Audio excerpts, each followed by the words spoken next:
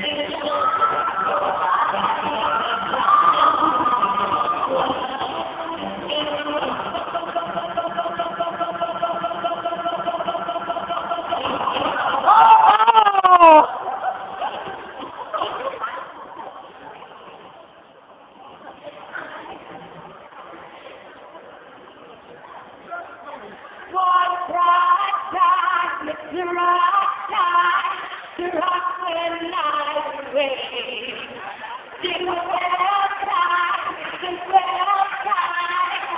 To go day. Take a a look, take